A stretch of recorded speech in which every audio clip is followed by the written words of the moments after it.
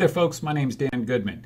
And what we're attempting to do here is kind of extract key pieces of information from our CompTIA Network Plus course, which focuses on the N10 007 exam. So I'm just going to call these tidbits because it's kind of a fitting name if you think about it.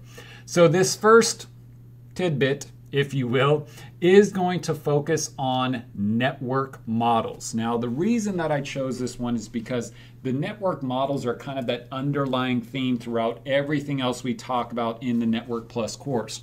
So, we really want to focus on describing the functions of the OSI model layers, and then eventually we'll get to the TCP/IP model layers.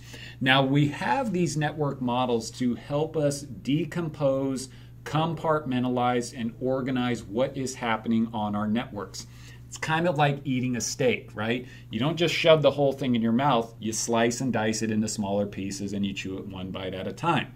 These models consist of layers, and the layers serve two functions depending upon how the model is being used. So let's say you're using the OSI model to determine how one system talks to another you would think of the layers as kind of a step by step breakdown of that communication. Step one, two, three, four, etc.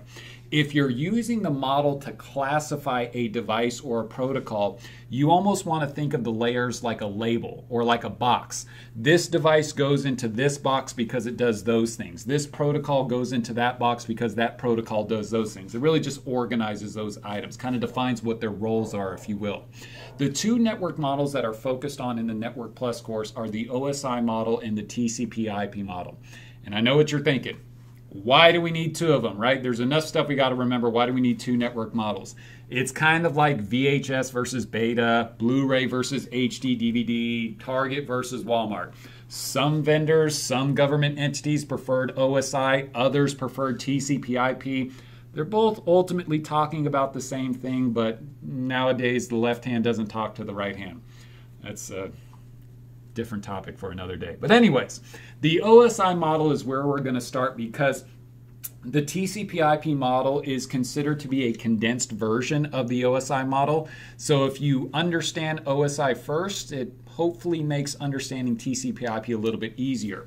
The first goal of the OSI model is to identify both the hardware and software components used in networking. So that means you're talking about devices, ports, and protocols. Once these components are identified, they get organized into the discrete layers. Now, each layer technically exists on its own, but it can feed information into layers above it or below it if need be. Now, when you're talking about going down the OSI model, this is essentially the equivalent of sending a piece of data from one system to another. You would start at the top of the model, which is layer 7, and go down the layers. This is officially called encapsulation with an E, encapsulation. When you are talking about going up the OSI model, this would be the equivalent of receiving a piece of data as opposed to sending it. You start at the bottom of the model, which is layer one, and go up the layers. This is officially called de encapsulation, or depending upon which book you read, decapsulation. It's both talking about the same thing. Now, both are grammatically correct in that regard. First, you want to remember the layers by using an anagram or an acronym or an anonym, if you will. If you're talking about going from layer 7 to layer 1, and you've probably heard this in other places before, all people seem to need data processing. If it ain't broke, don't try to fix it.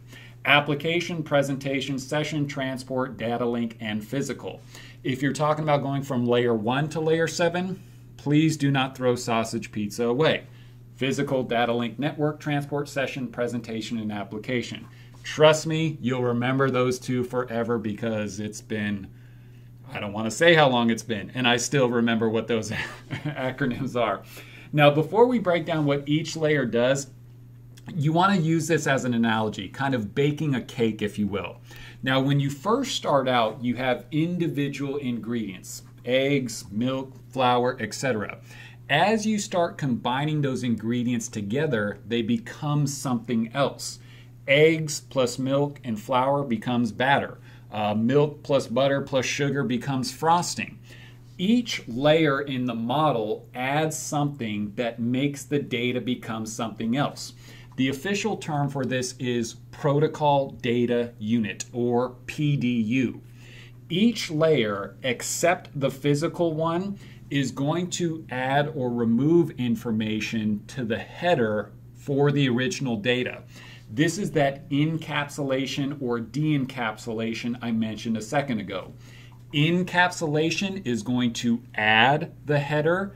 De-encapsulation is going to remove the header.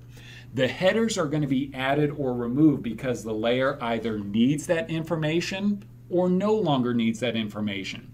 It's kind of like getting a package ready for shipping versus receiving a package. If you're shipping a package, you need the item, the bubble wrap, the box, the label, the shipping, etc. To receive a package, you toss all that stuff aside and you just need the item. Now, as far as what each layer goes into, that's going to be a topic for another day because there's seven of them and we do want to make sure that we give each layer its appropriate attention.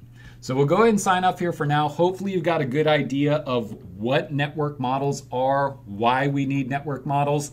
We're going to start getting into what each layer in the OSI model does here. But we'll save that for another day. I'll talk to y'all soon.